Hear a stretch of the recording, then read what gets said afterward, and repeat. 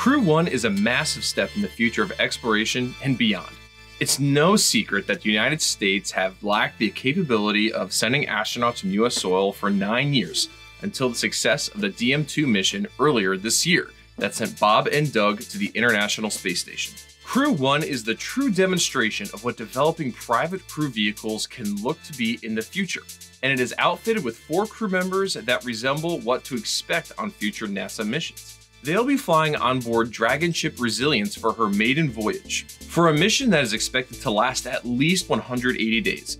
The crew will join Expedition 64, made up of Commander Sergei Ryzhikov and flight engineers Sergei Kud-Sverchkov and NASA astronaut Kate Rubins. The arrival of Crew 1 will increase the regular crew size of the space station's expedition missions from 6 to 7 astronauts, adding significantly to the crew time available for research.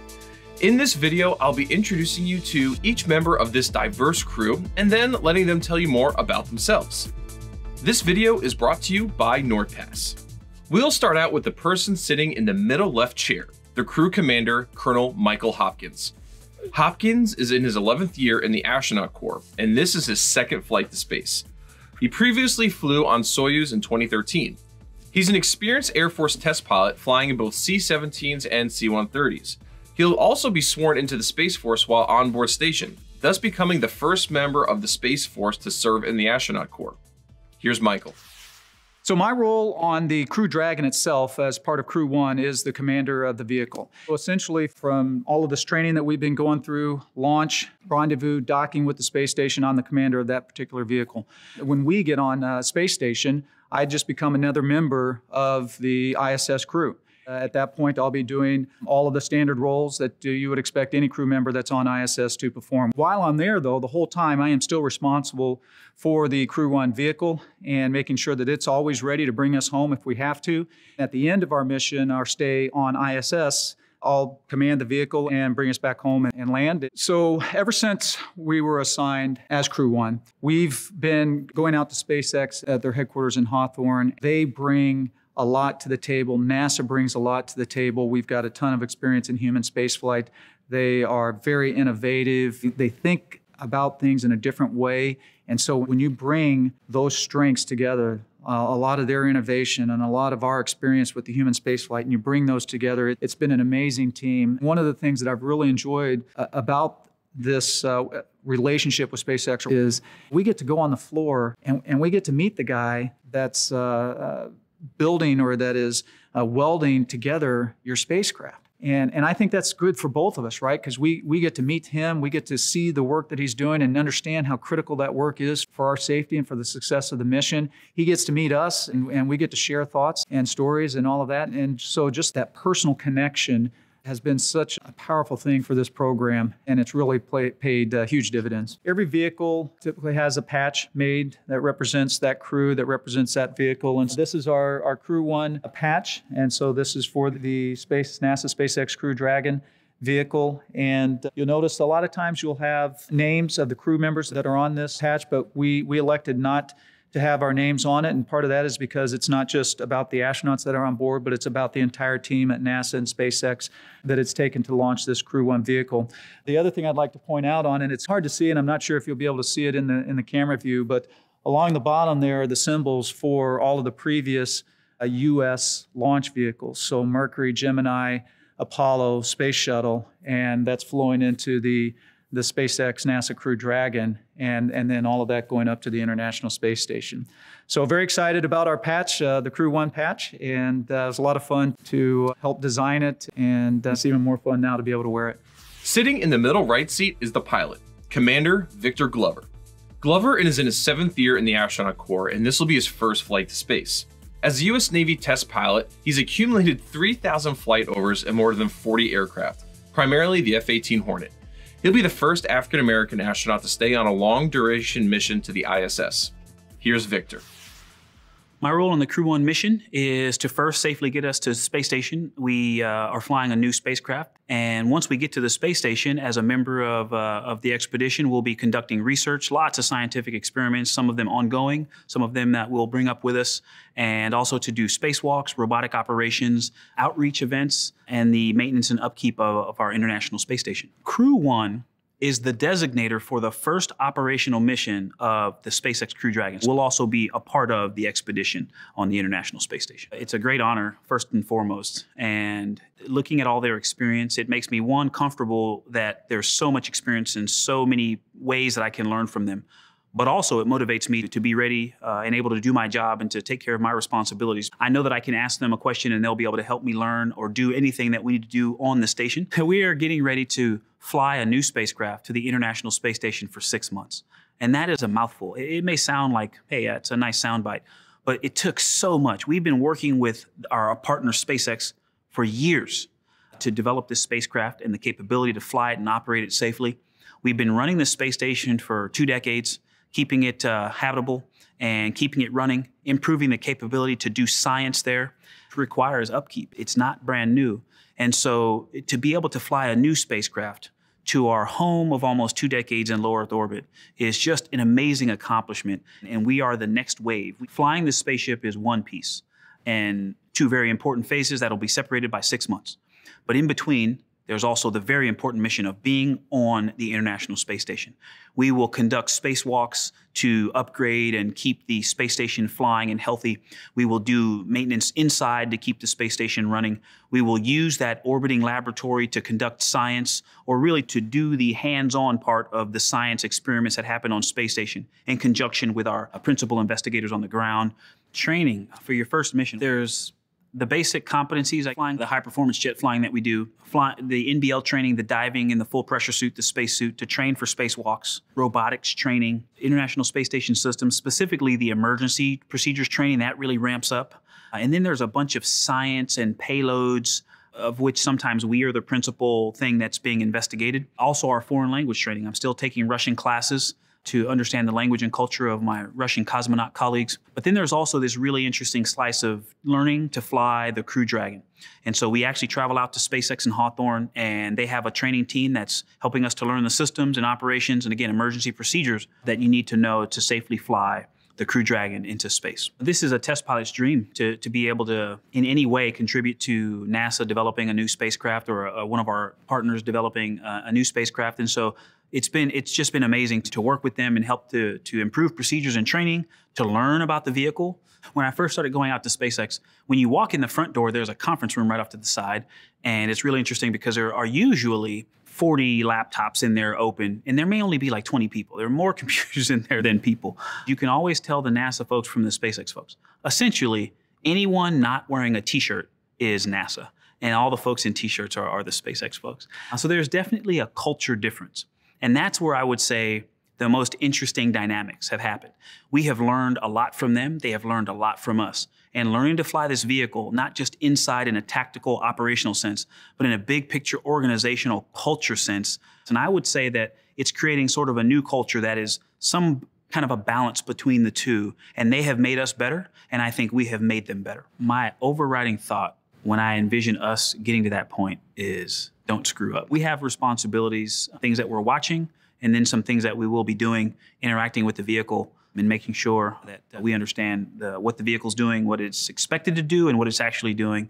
There are windows that would be down near our feet. And so our screens are up high. And I just envision at some point being able to like take a look down and to see the earth from a perspective that I've never seen. That'll be a little special moment. In the far left seat, we have Mission Specialist 1, Soichi Noguchi. He is the most seasoned space flyer on this mission. He's been a Japanese astronaut for 24 years and has spent nearly six months in space. He is in a very rare club. The Crew Dragon will be the third different vehicle he's flown into space. Prior to Dragon ship Resilience, he flew on Space Shuttle Discovery for STS-114 and a Soyuz for TMA-17. Here's Soichi. Well, my mission will be uh, uh, help support the commander and the pilot on the spacecraft uh, Crew Dragon. And of course, once I arrive on the space station, I'll be a board engineer and do lots of science and maintenance and uh, spacewalks, robotics, all kinds of work. I'm really fortunate enough to have good crew member. Hopper is our commander. He's a really uh, natural leader He's really thoughtful and caring and really fortunate to have a great commander like him. Ike, I would say he's the best rookie ever. I don't know any other rookie astronaut who is really capable and knowledgeable and, and fun guy as well. Shannon Walker, we spent a long time together. We're in the same age. I really respect her on her knowledge. Uh, she's really a ISS guru. And for me, it's more like a running mate because uh, we space specialists, uh, mission specialists. I'm a mission specialist one and she's mission specialist two.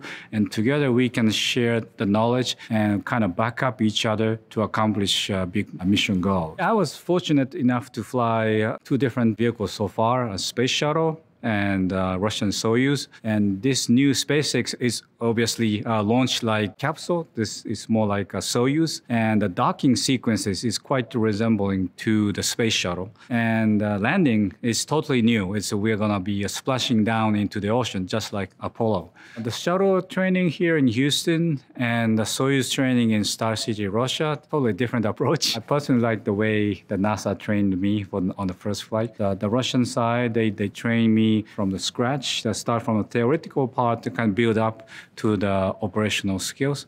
While space shuttle, you learn through the simulation and learn from the other crew member. So it's a totally different approach. And uh, SpaceX has its own way, but each different method eventually uh, make us good astronaut who can operate the system safely because ultimate goal is to return the vehicle with the same number of uh, people go up and they come back safely. So it's all the same. Uh, this is brand new, designed from scratch, 21st century spacecraft. So I have a knowledge of a space shuttle and the Soyuz, but I don't want to stick to those old experience. We are learning a new system, and this is a new design. And obviously, the SpaceX did a very nice job designing the new spacecraft. I think this SpaceX training, obviously, this is new. Uh, so uh, I would say it's more like a half development uh, support and half training. So unlike a space shuttle program or Soyuz, which have a long history of a safe uh, flight, I kind of learned from the previous uh, crew member. The 2005, our main way of communication was uh, is a fax actually, and then we just started to have some very limited email on the second flight, however, uh, we have internet on board. We can do the tweet, we can do the video conferencing, and uh, now we have almost uh, 24/7 uh, email access plus uh, video conferencing capability on their cell phone as well. So it's much closer in this uh, digital age. So it should be should be a fun stay. The changes from space shuttle to SpaceX is big. It's almost feel like the very old telephone booth to the smartphone. Many people say, especially the, the returning crew, they feel like uh, they never missed a date on space station, meaning they, on the day one of the returning flight, they feel like they were on the station yesterday as well, meaning you quickly go back to the old habits uh, of going back to the zero gravity life and uh, start from there. The spacecraft of this century is not just for America, but this is international corporation, and all the other people around the world have a chance to ride on this Crew Dragon. So this is a new era. Finally, we have in the right seat mission specialist number two, Shannon Walker. Walker is the resident scientist on board, who also found out last amongst the crew that she'll be joining them on this mission. She's been in the NASA Astronaut Corps for the last 16 years and flew once prior on TMA 19 for a long duration stay on station. Here's Shannon. So, my role for my upcoming flight is sort of broken into two pieces. There's my role on the Crew Dragon, and there's my role on the International Space Station. On the Crew Dragon, I am one of the mission specialists. And so a lot of my job, I think, is to help people understand how you operate on that spacecraft with four people as opposed to just two people and can get things done efficiently with four people in a small space. On the space station, my role is going to be very much like it was last time. Do what the ground needs us to do, whether it's maintenance or experiments, and just execute the task at hand. When I was there last time, I did a whole variety of tasks. It was at the very end of the construction of the space station. So we did a lot of uh, maintenance and getting the station ready to do all the science that we're doing now. And so I think that's one of the main differences. It's going to be uh, between my last flight and this flight, it'll be more science, hopefully less maintenance. And before it was more maintenance, less science. What I have found being part of the International Space Station program, and not just Russia, but our colleagues in Japan and Europe and Canada, is that underneath it all, we all have the same goals and we all have the same passions.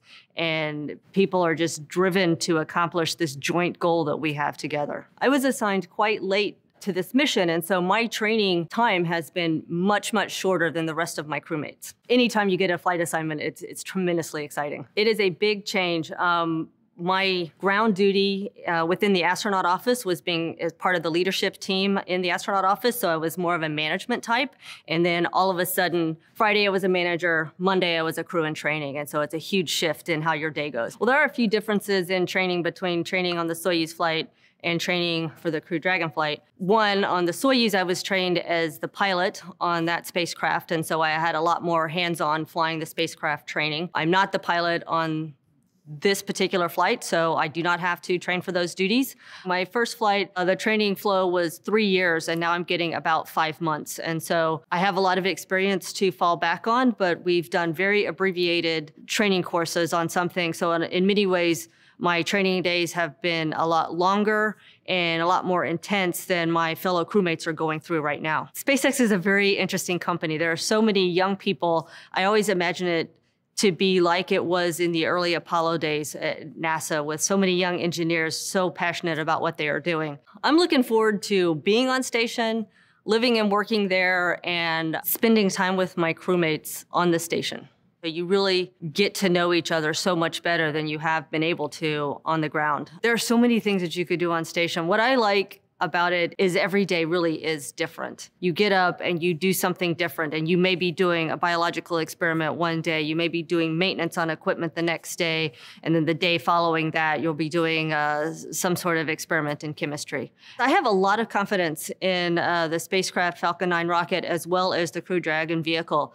The Falcon 9 in over its iterations has flown more than 80 times in space, and so it is a very solid rocket to fly on. Space exploration is important for a number of reasons. It is important for humanity in terms of the science and engineering benefits it brings. It is important for understanding the universe and our place in it. And I think it's important for the world to work, work together on common goals. Well, now you've heard from the crew themselves. I hope you learned something new from this video, and I really want to thank NordPass for sponsoring it. If you're looking for a new reliable password manager, you can download it for free at nordpass.com slash I need more space. If you'd like to support this channel and continue to see more videos like this, please consider becoming a patron at patreon.com slash I need more space. Thanks for watching. I hope you learned something new, and I'll see y'all later. Bye.